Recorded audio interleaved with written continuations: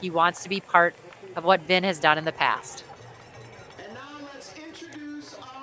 So it is time to meet our Hoka Festival of Miles men's milers. There is Connor Southard coming from Pittsburg State, fourth at the NCAA Division II championships at 1500 this year.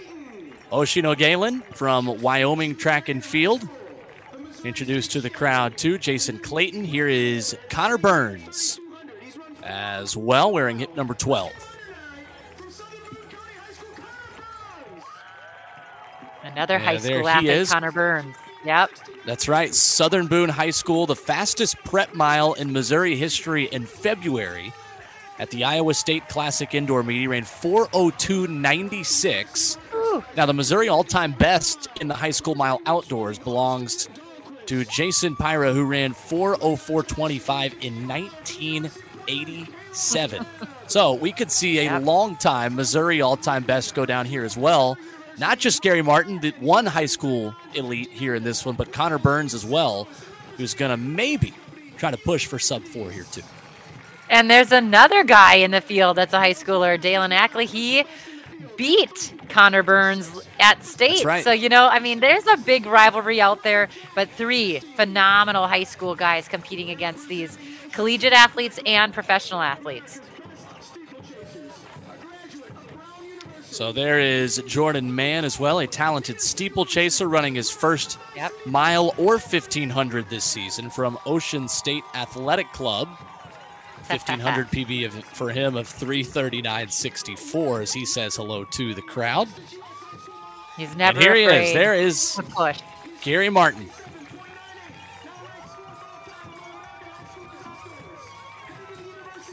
Sixth all time on the high school mile list at 357.98 on May the 14th at the Philadelphia Catholic League Outdoor Championships. He won Pennsylvania state titles in the 800 and the 1600 too. Last week, he will wave to the crowd and stride up to the line. There's Paul Ryan as well from Golden Coast and Adidas, an Olympic trials semifinalist scoring a point in the NCAA final a season ago, ran 4 flat 02 indoors.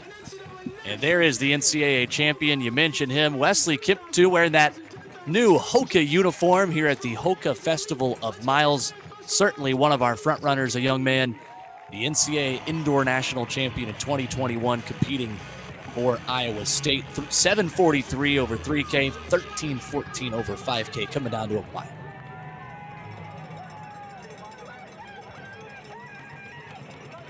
Jack Anstey, keep an eye on him with hip number two. He's been at that world stage. He knows how to race. He's run 356 indoors this past winter in Boston. So we have got a really good group right here. Austin Dahlquist, another guy wearing hip number six, ran 357.99 indoors at Arkansas where he competed collegiately. There you see him in the all black uniform, set a new outdoor mile PB here seven years ago. He's gone sub four indoors. He's never been sub four outdoors. So he is certainly a main character in this story as well. Well, the one thing I like about Gary Martin is he said in his pre race interview with Leo Manzano, the hard part's over. He's done it. He's gone under four now. The pressure is off for him to do that. Now he can just race. Three high schoolers, an NCAA champion, and many men who have run under four minutes for a mile in their really, really fast careers. The St. Louis Track Club men's mile is off and running. Our final gun of the night. Here we go from St. Louis. And not surprising to see Martin up front. You know, there are a lot of people talking about him. He does have pressure to run fast. There's a lot of people that are watching him but one thing that I loved about reading about what he did after that 357 when he ran so fast is he went to Wawa, which is a very well known gas station. He oh, went yeah. to Wawa and he had a quesadilla and then he went and played two hours of basketball when he got home. Like, this is still a kid, you know, and we want to let him be a kid. We don't want to put so much pressure on him that he forgets to go and have fun with his friends. And still get the joy out of the sport that he needs to. He is not a professional yet, even though he is running against the pros. And he is running very quickly through 400. He is right in front of Wesley Kiptoo, wearing that new NAZ Elite uniform, representing Hoka, the NCAA champion at 5K when he competed for Iowa State. But Martin is going to be aggressive here. And you certainly have to respect the boldness with which that he is running over these first 600 meters. He's been bold in a lot of his races. I mean, yes, he's not running with the caliber of athletes he is now, but he does run very hard from the gun. He's not afraid to attack a pace, and he's very, he thinks through his races. He has a very strict plan going into it, and you could tell that he's confident, but yet he respects all around him. He's, he's a thoughtful runner, you know, and he runs very smart. One pacer off, one left, two laps to go. They are at 157. Halfway through, Gary Martin leading it. Wesley Kiptoo right behind him. Still anybody's race. In our final race of the evening in the St. Louis Track Club men's mile. Jack Anstey Wesley joining that there. group as well. One ran 356 indoors at Boston, like you mentioned.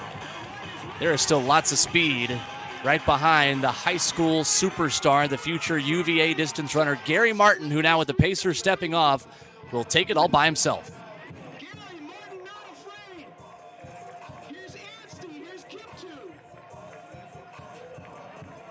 Anstey right in there.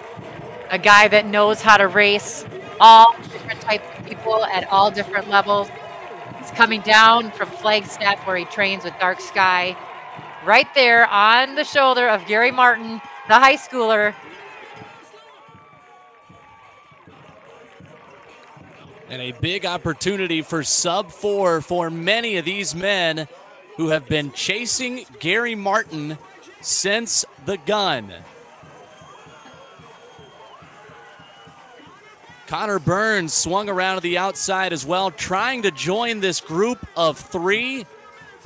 And here comes Jack Anstey from Under Armour on the outside, followed by Martin, followed by Paul Ryan. We watch the clock and we watch these men sprint over the final 150 here in St. Louis. The crowd making a whole lot of noise. And here they come. It is Paul Ryan in pole position. Gary Martin swinging to the outside. Jack Anstey running in second. Caleb Webb in there as well. Paul Ryan is going to take the race. How fast can Gary Martin go behind him? 355 unofficially. A personal best over the mile for your winner, Paul Ryan.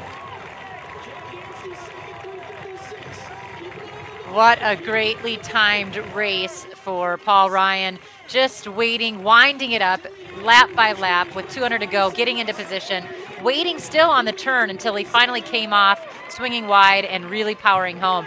But you got to give it up to Gary Martin. He puts himself in position. The very start of this race, you could see how he got himself into the lead. He powered through that big sea of athletes. But look at the excitement they're having for all of the athletes out there. Pretty fired up for Burns. Connor Burns very excited as we await the official results coming our way in just a moment. We will tell you where each of these young men and men finished. But what a brave race from Gary Martin once again. Here are the official results in the St. Louis Track Club men's mile.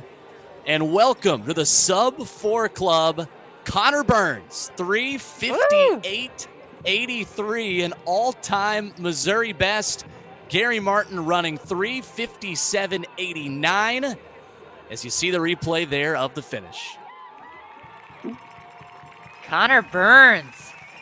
Someone we didn't get to see very much, but right there, right behind Gary Martin, he's got to be pumped about that. He's got his Hoka hat on. He's all smiles. He's tired. But that was a phenomenal race. Fifth place there. Giving it up too. We didn't get to mention hip number five, Caleb Webb. He had a great race too. Ran 358 indoors this year. Running a smart race today. But those two high schoolers, America's next best. And that would put Connor Burns right behind Gary Martin on the all time U.S. high school mile list. Gary Martin is sixth coming into this competition. And now, welcome Connor Burns, eighth all time on the U.S. top 10 list at a mile. Gary Martin, 357.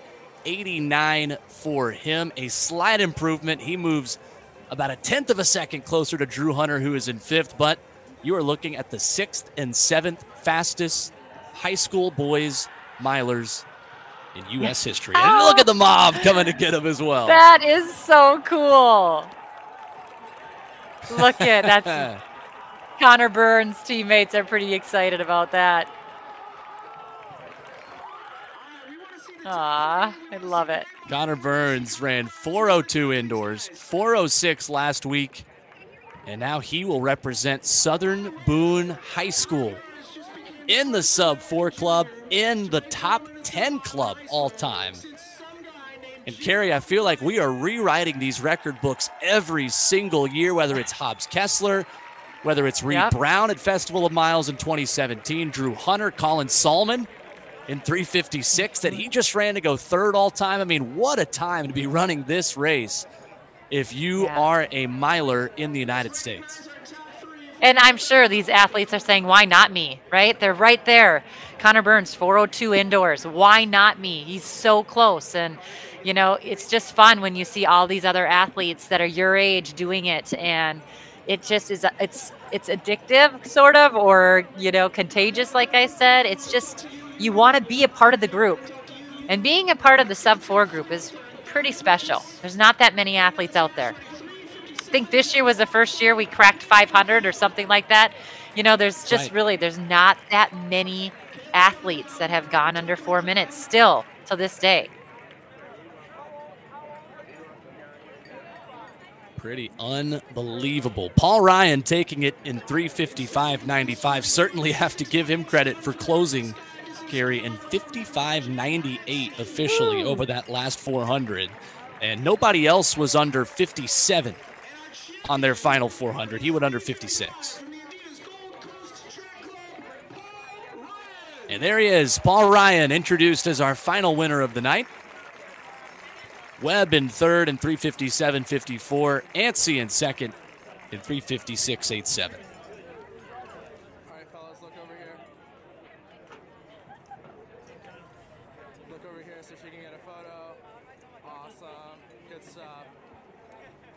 So a Pretty photo awesome op for night. them.